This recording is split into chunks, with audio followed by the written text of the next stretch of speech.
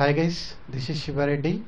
Welcome to Core Java tutorials. In this session, I will explain how to sort list implementations such as array list, linked list for the user defined objects. I will explain this thing using an example. So let us go to the Eclipse. In this uh, um, in this Eclipse, I already written a array list demo. I am going to use this uh, same example to explain this concept. So initially what I have done is I created a list using an string objects. So I have added three objects and now when I run this program let us consider I am comment out this method as of now when I run this program I see the output test hello bye by default array list will maintain the insertion order. But I want to sort this um, uh, list in the ascending order.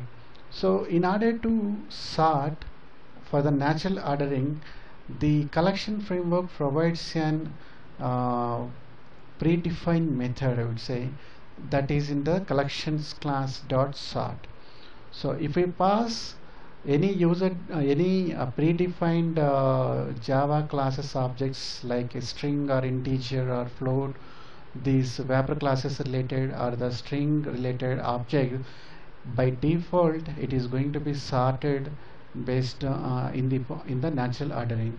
So if you now we can run this program and see the output. And if you see the output it is now sorted in the ascending order okay so for uh, for the list implementation or the for the array list or the linked list collections dot sort is the method is used to sort the uh, list in the natural ordering.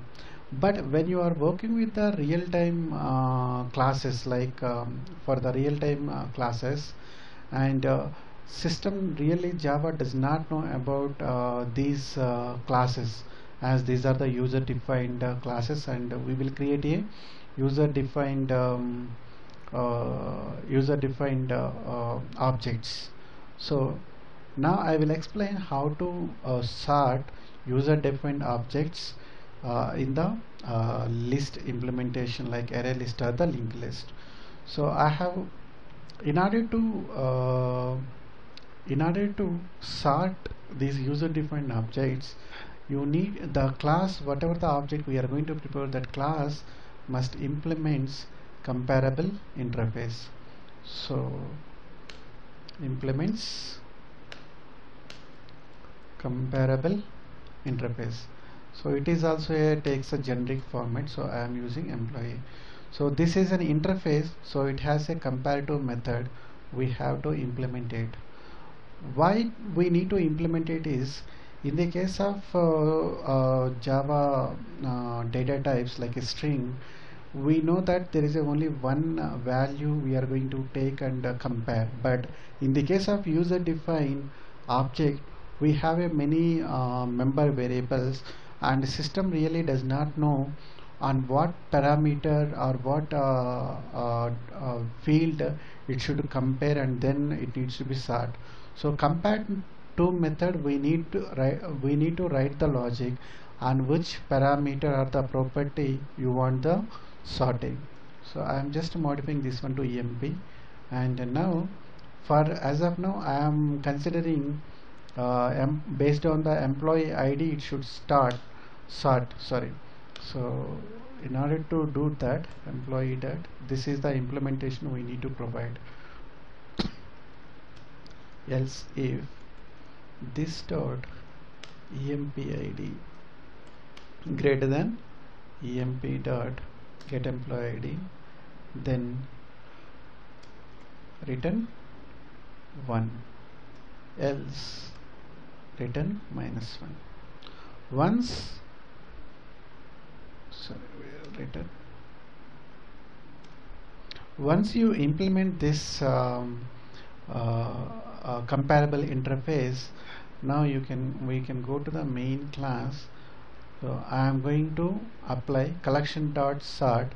I am going to pass this list object. So if you see the uh, little bit more about this description so the it is going to uh, this sort method will take a list of type t and type t is going to be extend the comparable interface. Okay so this is going to provide the natural ordering. Okay now I am going to run this program.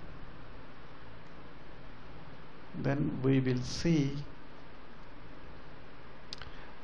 the employee ID 101 2 3 4 so we have written the logic based on the employee ID hence it is sorted in the employee uh, based on the uh, employee ID but if you don't apply this sort method here collection dot sort if you don't pass then you do not see the difference. If you see here it is still whatever the insertion order we provided this is the same. But if you apply this collection dot sort method and you pass the list of objects. Of the object which implements a comparable then by default when you run this program it will provide the natural ordering. The same is applicable for the linked list also. Okay so linked list. So there is no difference uh, in the program. Just if you run this program you will see that this is in the natural ordering. So this is how you need to sort um, for the user defined objects when you are implementing the list. Thanks for watching. If you have any questions please comment on my youtube video